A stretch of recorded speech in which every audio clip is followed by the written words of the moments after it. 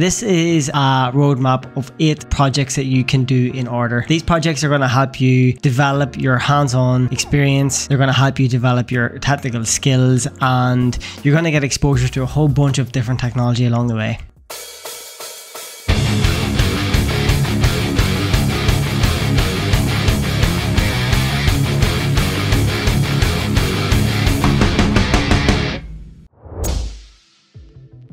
So project one, if you're going to the effort of learning all of this really cool technology and developing all of these skills, then you need to talk about it. You need to put that somewhere and tell people exactly what you're doing. You can build a portfolio, you can build your own website. A free way to do that is just on GitHub. Mine pretty much looks like this. And on the homepage of my profile, you can see this bit of text here. This is quite easy to add and it's not there by default.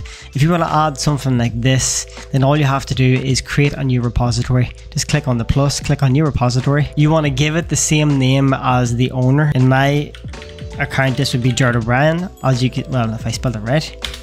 As you can see, this is already taken because I already have it, but it says here, this is a special repository that you can use to add a README to the GitHub profile. So that's exactly what you want to do. You want to type in your name here and then you want to go down and you want to tick this box to add README and then just click on create repository. Once you do that, then you will have a new README file that's available here. You can easily edit that just by clicking on the pencil and that is going to bring you in here and you can modify this to start showing all of the amazing, wonderful projects that you're working on. You don't need to spend weeks doing this, making this perfect. Just get something up there just so you have a portfolio that you can start showing people. If you want to just get started straight away, then go on my GitHub and just steal mine, just copy mine into yours, modify it, and that should get you moving pretty quick.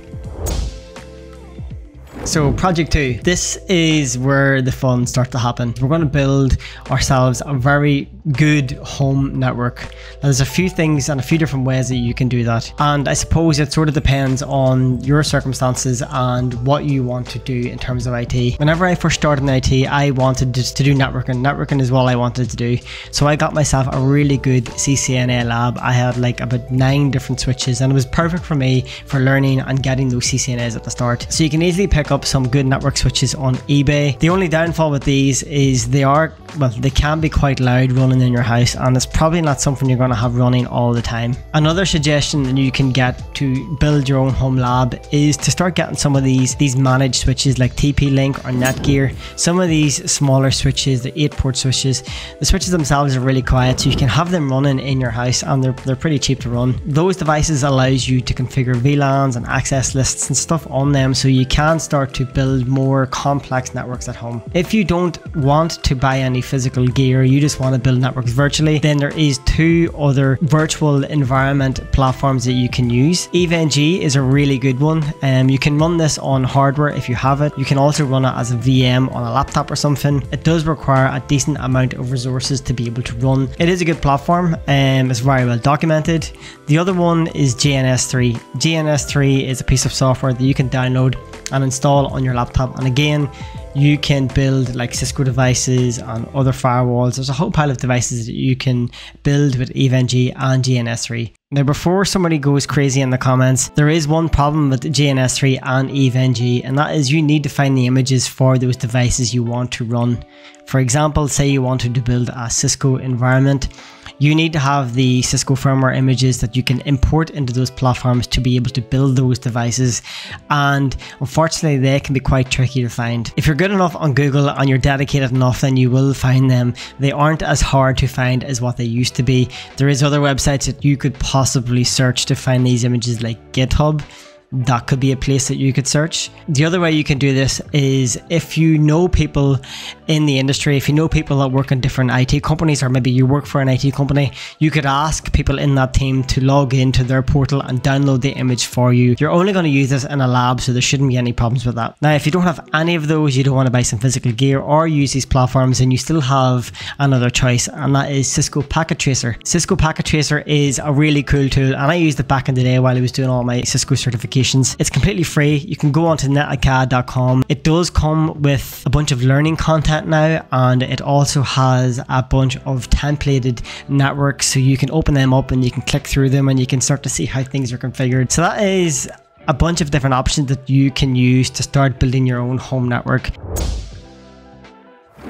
The next thing you need to do is to start building things on top of that home network. And that's when you start to play around with virtualization and containers. There is loads of different options that you can use to start playing around with virtualization. Now to make it simple for you, I am just going to choose one and recommend this for you to use. Proxmox is a hypervisor that you can download and you can run. You can install it on a piece of hardware that you have. You can even buy an Intel NUC and just install it on that. That will allow you to build virtual machines and containers and it's a really good entry point into the world of virtualization. I created a video on installing Proxmox on a server that I have and I will link it here. Check that out if you're interested. If you don't have hardware or a server to run that on, then get some sort of virtualization platform that you can install on your laptop. Now, there's two good options that you can use. One of them is VirtualBox. That's a tool you can download and you can run and you can build virtual machines on. The other one is VMware Workstation Pro. Now, this used to be a paid tool and now it is free. Once you have mastered virtualization and you've played around, you've built a number of different virtual machines and you sort of have a good idea how it works, then go into the next phase of that, which is containerization, which is talking about Docker and other containers. Docker Desktop is a tool that you can download and you can basically create containers. You can pull them down from Docker Hub and you can run a bunch of different stuff. If you don't want to use Docker, then you still have other options. Podman is another tool that you can download.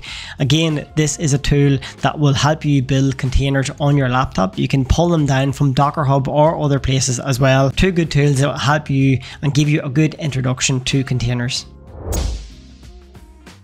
So next phase, you basically have your home network, you've looked at virtualization, you've built VMs, containers, you know all of that stuff.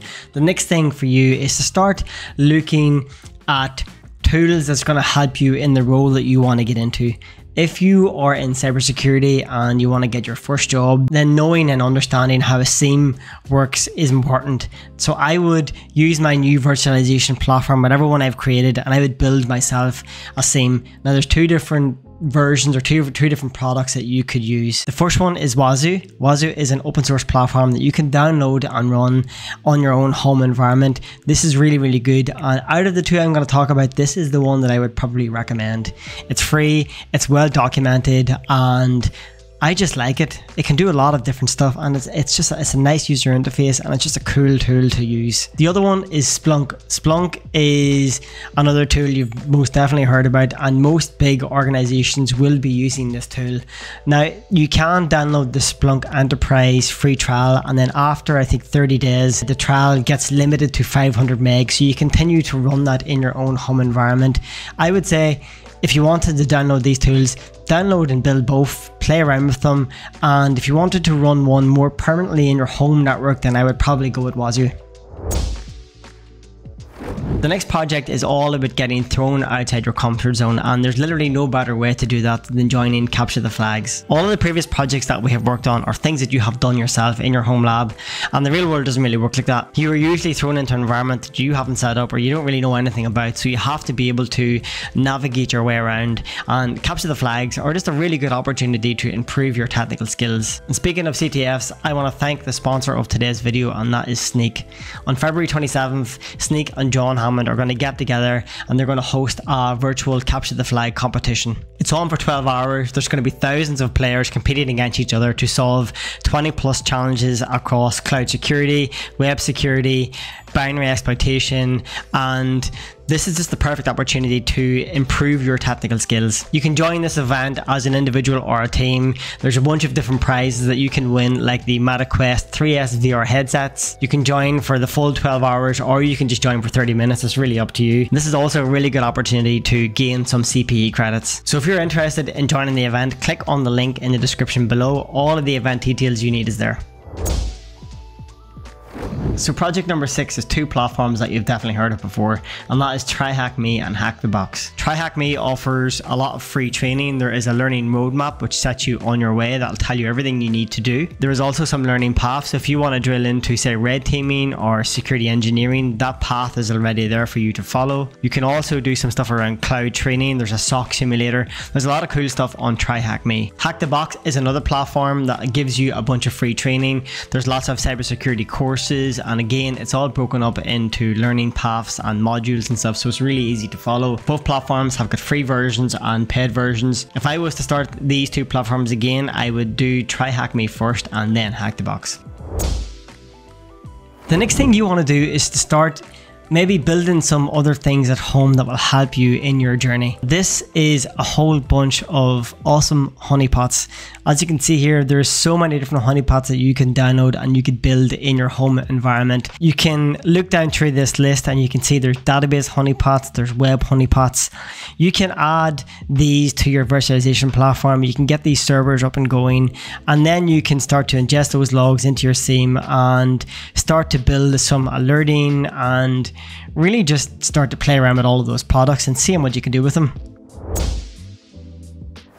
This video was originally supposed to be seven projects and then last weekend I found this one. This is called Flare VM and this is a bunch of scripts that you can download on a Windows VM and you can use those scripts and tools to start doing malware analysis. Malware analysis is something that I'm new to myself and I've just started playing around with this stuff but I just wanted to add it to this video as a project that you could look into along the way. So that's it. That is a roadmap of eight projects that you can do. Following through these eight projects will introduce you to a lot of different technology and it'll really build your technical skills. I want to thank our sponsor today, Snyk. If you're interested in joining the Capture the Flag, just click on the link in the description below. All the details that you need is there. Thanks for watching and I'll see you next week.